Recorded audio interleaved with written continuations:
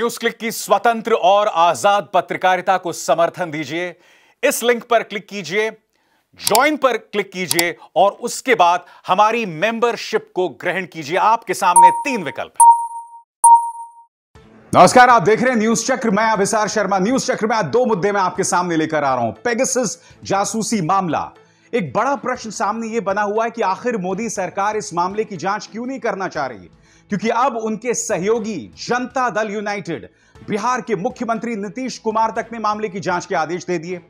और देविंदर सिंह का मामला जो है वो दफन होने का नाम नहीं ले रहा। कांग्रेस ने 20 मई के एक लेटर का हवाला दिया और उस लेटर में अगर वो बातें सही हैं तो होश उड़ाने वाली बातें दोनों की बहुत विस्तृत चर्चा करने वाला हूँ। बने रहना होगा आपको मेरे साथ। सबसे पहले हम बात बात करेंगे पेगसिस की।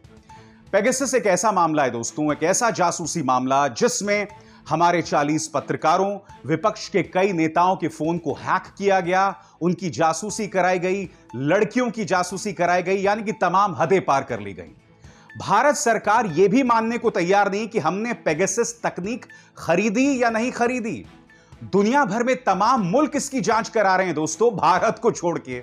जी हाँ, और अब नीतीश कुमार, जो कि बिहार में भारतीय जनता पार्टी के सहयोगी हैं, वो भी सामने उभर कर आ गए हैं। वो भी कह रहे हैं कि भाई, इस मामले की जाँच होनी चाहिए। क्या कहा नीतीश कुमार ने? पहले आप सुनिए। नहीं नहीं बिल्कुल होना चाहिए। टेलीफोन टैपिंग की बात इतने दिनों से आ रही है। इस पर ज़रूर बात हो जानी चाहिए, चर्चा हो जानी चाहिए। इसमें तो पहले ही दिन पूछे। आजकल तो जानते नहीं है, ये सब चीज़ तो कई तरह से कौन कर लेगा। तो इसलिए इन सब चीज़ों पर तो पूरे तौर पर एक एक बात को देख करके उचित कदम उठाना चाहिए, मेरी समझ से। लेकिन क्या हुआ है, क्या नहीं हुआ है, ये पार्लियामेंट में कुछ लोग बोल रहे हैं और समाचार पत्रों में आ रहा है तो उसी को देखते हैं हम लोग। लेकिन जो कुछ भी है, उसके पूरे तौर पर जाँच करके कि आखिर किसी को किस तरह से फ़ोन को लोग अपने ढंग से सुन रहे हैं या कुछ भी कर रहे हैं, उस पर कब्जा कर रहे हैं। क्या कर रहे हैं? ये तो पूरी बात आनी चाहिए। जब इतने दिनों से लगातार लोग बोल रहे हैं तो उसके बारे में निश्चित रूप से इस पर मेरी समझ से जाँच कर लेना चाहिए। यही नहीं दोस्तों, जब नीतीश कुमार से यह पूछा गया कि एक ऐसा मुद्दा है जिसमें संसद की कार्रवाई बाधित हो रही है, क्या आपको नहीं लगता कि इस पे जाँच होनी चाहिए या नहीं होनी चाहिए? तो नीतीश कुमार ने साफ़ तौर पर कहा कि सरकार ने एक बयान बेशक जारी कर दिया हो मगर इस पर सावगोही से पूरी मामले को पारदर्शिता से सामने रखने की ज़रूरत है। क्या कहा नीतीश कुमार ने? सुनिए। तो कहते कि पार्लियामेंट के अंदर की बात है जी। लेकिन जहाँ तक सवाल है इसके बारे में कुछ जवाब तो दिया गया है ना सरकार की तरफ़ से। जी। तो जब जवाब दिया गया है तो उसके बाद फिर क्या मामला है? ये बात तो हम लोगों को पूरे तौर पर तो जानकारी नहीं है। ये बात जो आ रही वही ना जान रहे हैं। कि विवाद बना हुआ है। लेकिन हम लोगों को भी तो लगता है कि किस तरह से किसी को इस तरह से कुछ की बात को जब्त करने की कोशिश जाँच की मांग की जा रही है लेकिन सरकार जाँच के लिए तैयार नहीं है। सरकार इस इशू को इनकार कर रही है कि ऐसा कोई घटना हुआ है या कुछ जाँच की ज़रूरत है। सरकार लगातार इस बात को कह रही है। लेकिन सरकार कह रही है तो अगर लोगों को कोई मालूम है तो उस बात को रखना चाहिए। हम तो यही चाहेंगे। दोस्तों, बात यहाँ नहीं रुकती। राहुल गांधी इस मुद्दे पर बहुत तलख तेवर अपनाने वाले हैं। मैं आपको स्पष्ट तौर पर बता दूँ कि इस मुद्दे पर कल, यानी मंगलवार को, वो विपक्षी दलों के साथ बैठक करने वाले हैं। यानी कि विपक्ष जो है इस मुद्दे पर पीछे नहीं हटने वाला है। बड़ा प्रश्न कि आखिर मोदी सरकार कब पसीजेगी? कब मानेगी कि अपने ही देश के नागरिकों की फ़ोन की हैकिंग करना गलत है? दिक्कत क्या मैं आपको बताता हूँ दोस्तों कि अगर मोदी सरकार इस जाँच को तैयार हो जाती है तो और अगर हम इस जाँच के नतीजों तक पहुँचते हैं जहाँ यह प्रमाणित हो जाता है कि भारत की सरकार या भारत की कोई एजेंसी हमारे पत्रकारों के फ़ोन हैक करा रही थी, विपक्ष के नेताओं के फ़ोन हैक करा रही थी तो इससे बड़ा गैर कानूनी काम कोई नहीं है। आईटी एक्ट के सेक्शन 43 साफ़ तौर पर कहता है दोस्तों, क्या कहता है?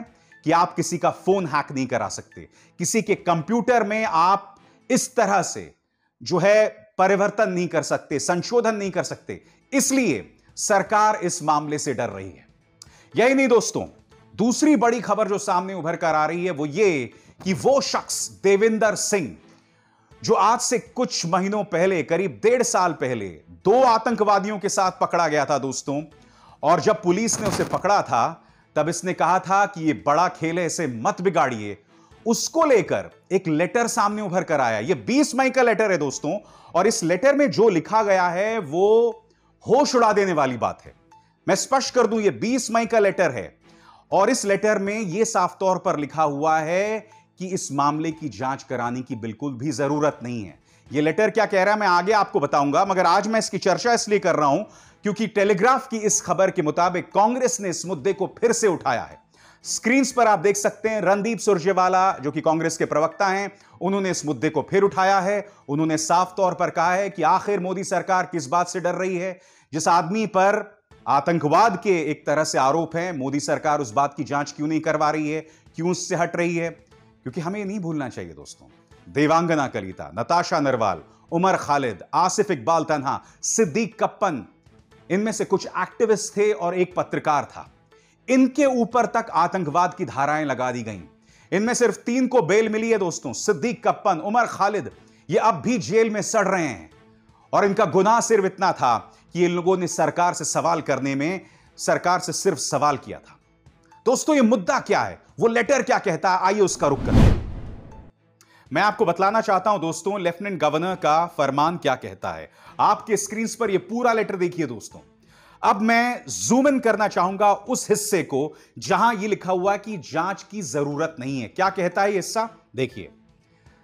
And whereas the lieutenant governor is satisfied under sub clause C of the proviso to clause 2 of article 311 of the constitution of india that in the interest of the security of the state it is not expedient to hold an inquiry in the case of mr devinder singh Deputy Superintendent of Police under suspension, son of Mr. Didar Singh, Aro Overiguntral Pulwama, resident of Pulwama.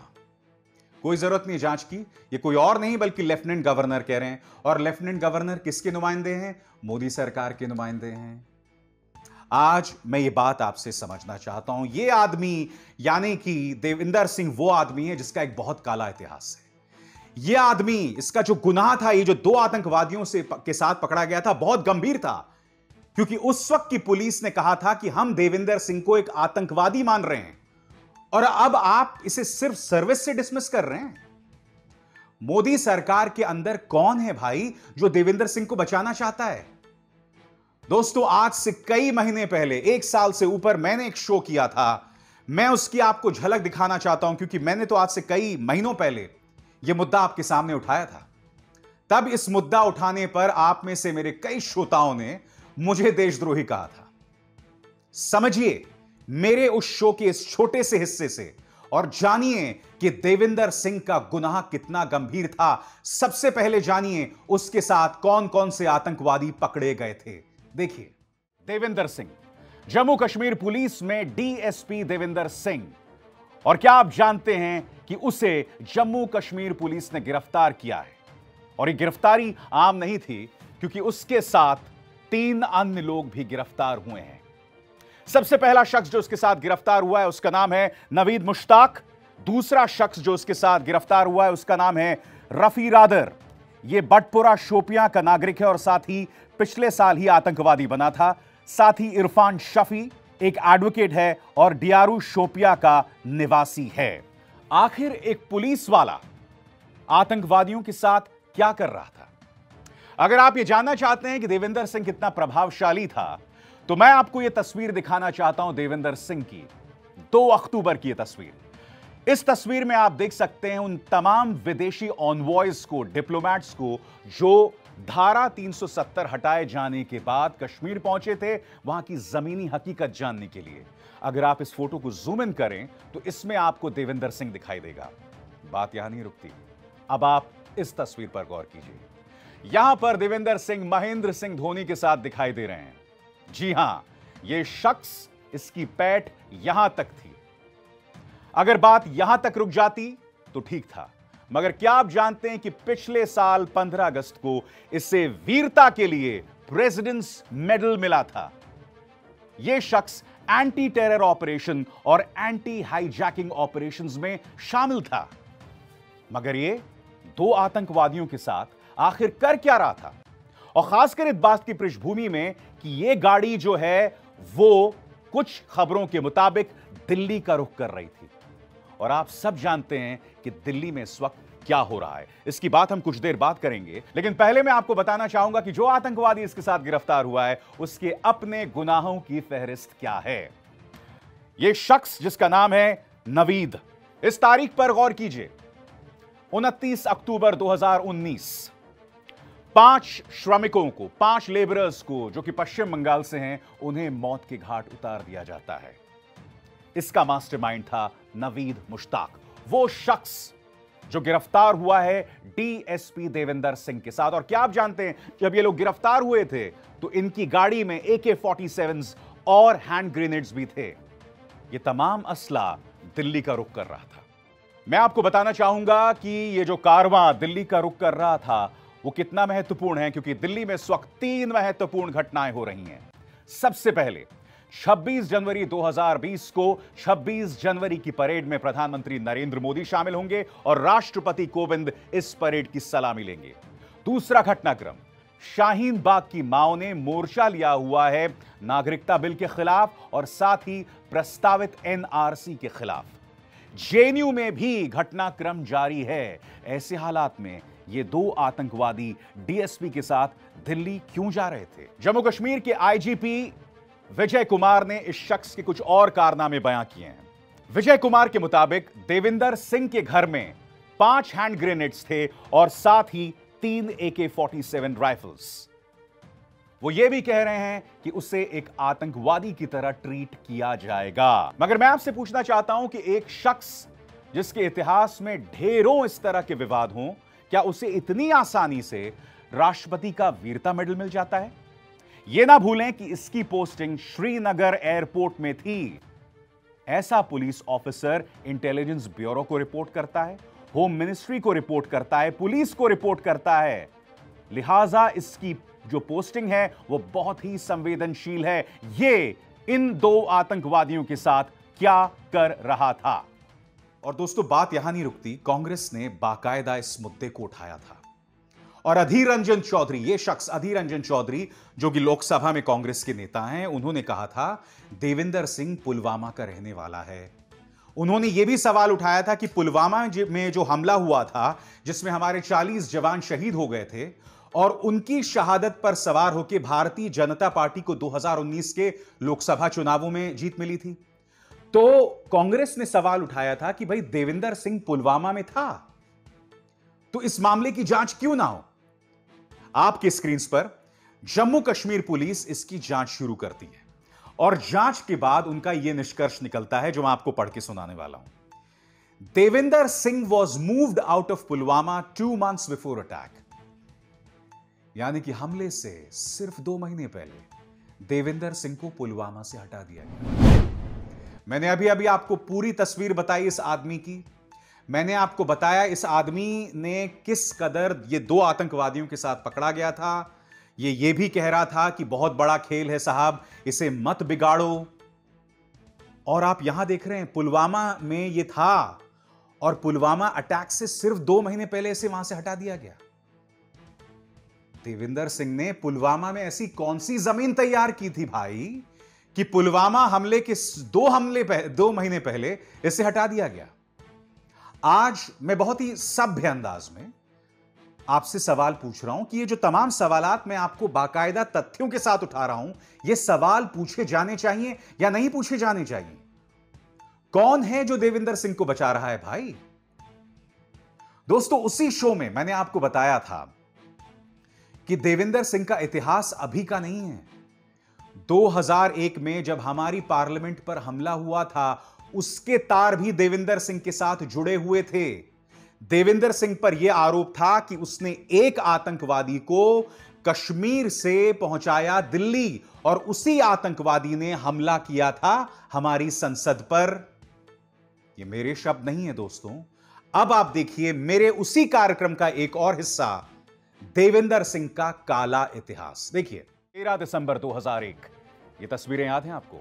संसद भवन पर हमला हुआ था और इसमें अफजल गुरु को फांसी की सजा दे दी गई थी। अफजल गुरु का जो वकील था, सुशील कुमार, उन्होंने एक चिट्ठी जारी की थी जो इस वक्त आपके स्क्रीन पर था और इस चिट्ठी में उन्होंने कुछ अहम बातें कही थी।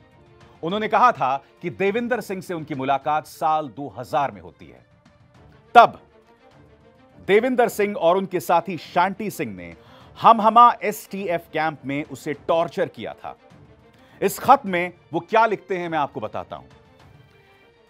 एक दिन मुझे अल्ताफ देविंदर सिंह डीएसपी यानी डीएस के पास ले गया। डीएस ने कहा कि उसके लिए एक काम है। उसने कहा कि तुम्हें एक आदमी को दिल्ली ले जाना है और उसके लिए किराए का मकान ढूंढना है। जिस शख्स के लिए मकान ढूंढना था, वो कश्मीरी नहीं, बाहरी व्यक्ति था। उसका नाम मोहम्मद था। मैं देविंदर के सामने मजबूर था। मैं मोहम्मद को दिल्ली ले गया। अगले दिन उस शख्स ने कहा कि मुझे कार चाहिए। हम करोल बाग गए, हमने कार खरीदी। दिल्ली में इस शख्स ने मुझे कई और लोगों से मिलवाया और अक्सर देविंदर सिंह से वो फ़ोन पर बात करता था। तेरह दिसंबर को संसद में हुए हमले में मोहम्मद का हाथ था और उसे संसद के परिसर में ही गोली मार दी गई थी। दिलचस्प बात यह कि अफजल गुरु को फांसी दे दी गई।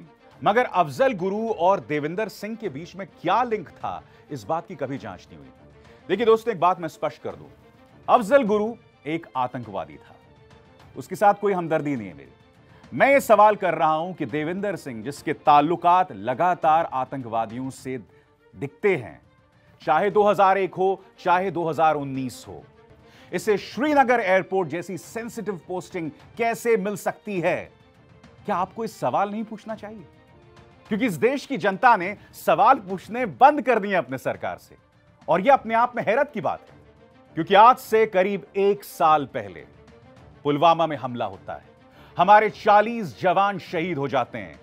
क्विंट की एक रिपोर्ट सामने आती है, जिस वक्त जो आपके स्क्रीन पर है। और यह रिपोर्ट यह दावा करती है कि सीआरपीएफ लगातार होम मिनिस्ट्री से यह कह रहा था जनवरी और फरवरी में कि आप हमें एयर ट्रांसफ़र करवाएँ। हमें ज़मीन से ना भेजें, क्योंकि सुरक्षा को लेकर कई इश्यूज़ हैं। यही नहीं, उनके पास बख्तरबंद गाड़ियाँ नहीं थी बुलेट प्रूफ व्हीकल्स नहीं थी। नतीजा आपके सामने है। यह बात अलग है कि इस खबर के मुताबिक सरकार ने क्विंट की इस रिपोर्ट को पूरी तरह से खारिज कर दिया था। मगर इस वक्त आपके स्क्रीन पर कुछ और स्क्रीनशॉट्स हैं। बीएसएफ ने भी होम मिनिस्ट्री से यह अपील की थी कि आप हमें एयर ट्रांसफ़र यानी प्लेन के ज़रिए ट्रांसफ़र कराएँ। इसे भी होम मिनिस्ट्री ने खारिज कर दिया था। अब ये तो सरकारी दस्तावेज़ सामने मौजूद हैं। सरकार इसे तो खारिज नहीं कर सकती। दुर्भाग्य की बात यह है कि सीआरपीएफ ने अपनी तरफ़ से जो अपील की थी, उसके कोई सरकारी दस्तावेज़ मौजूद नहीं है। इसलिए शायद सरकार ने उसे खारिज कर दिया। मुझे पूरा विश्वास है, जिस तरह से पुलवामा पर हमने अपनी सरकार से कोई सवाल नहीं किया, और जिन पत्रकारों ने यह सवाल किया उन्हें देशद्रोही करार दे दिया गया। इसी तरह से देवेंद्र सिंह का यह मामला, जिसके ताल्लुक आतंकवादियों से हैं, उसे भी दफन कर दिया जाएगा। फिर सवाल पूछना चाहता हूँ मैं। इस सरकार के अंदर कौन है जो देवेंद्र सिंह को बचा रहा है? मैंने उन बच्चों की तस्वीरें आपको कार्यक्रम की शुरुआत में बताया था। इनमें से कुछ को, कुछ का दोष सिर्फ़ इतना था कि वे मुसलमान थे। कुछ का दोष सिर्फ़ इतना था कि वो जेएनयू में पढ़ते थे। या अलीगढ़ मुस्लिम यूनिवर्सिटी में पढ़ते थे, या जामिया मिलिया इस्लामिया में पढ़ते थे, या विद्यार्थी थे। तुम अफ़गानिस्तान के विद्यार्थियों से तो सीक्रेट बातचीत कर सकते हो। विद्यार्थी मतलब जैसे कि आप जानते हैं कि तालिबान को, का अगर आप हिंदी में तर्जुमा करें, उसका अनुवाद करें तो उसका मतलब होता है विद्यार्थी, स्टूडेंट। तो तालिबान के साथ तो तुम सीक्रेट बातचीत कर सकते हो, मगर मेरे देश के मेरे जामिया, मेरे जेएनयू के छात्रों से तुम बातचीत नहीं कर सकते हो। उन्हें तुम देशद्रोही बताते हो। और ये देवेंद्र सिंह, इसका क्या लिंक है बीजेपी के साथ मैं जानना चाहता हूँ? बताइए ना, क्या लिंक है? देश की जनता जानना चाहती है। फिर दिखाना चाहता हूँ वो लेटर जिसमें लेफ्टिनेंट गवर्नर कह रहे हैं कि कोई ज़रूरत नहीं है उनकी जाँच करने की, उस मामले की, इसे सिर्फ़ सर्विस से डिसमिस कर दिया गया। कोई ज़रूरत नहीं है मामले की जाँच करने की। दोस्तों, राष्ट्रवाद के नाम पर, देशभक्ति के नाम पर, इस देश की जनता को भारतीय जनता पार्टी ने इतना मूर्ख बनाने का काम किया है, जिसकी कोई हद नहीं है दोस्तों। आज की तारीख में, भारतीय जनता पार्टी ने देशभक्ति को ना मज़ाक बनाकर रख दिया है। राष्ट्रवाद जैसे मज़बूत जज्बे को इन्होंने मज़ाक बनाकर रख दिया है। मैं फिर आपसे सवाल पूछ रहा हूँ, इस सरकार के अंदर आखिर वो कौन है जो देविंदर सिंह को बचा रहा है? बताइए, कौन है वो जेम्स बॉन्ड? हम्म?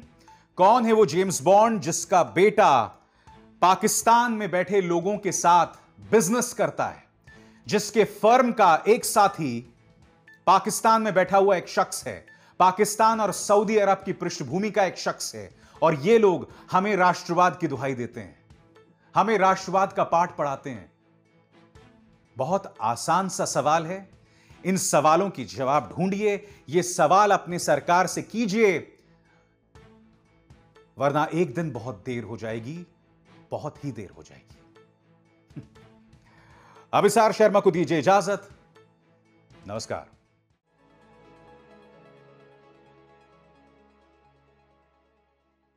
you